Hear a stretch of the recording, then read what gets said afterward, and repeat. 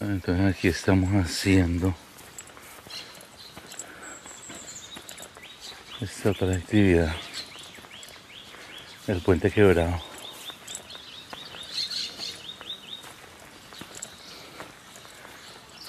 Entonces movemos la actividad es que no te vayas a caer. O si no allá allá. Si te caes, pum.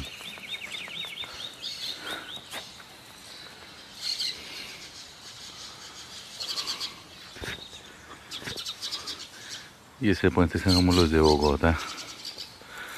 No tienen casi... No tienen casi pasos.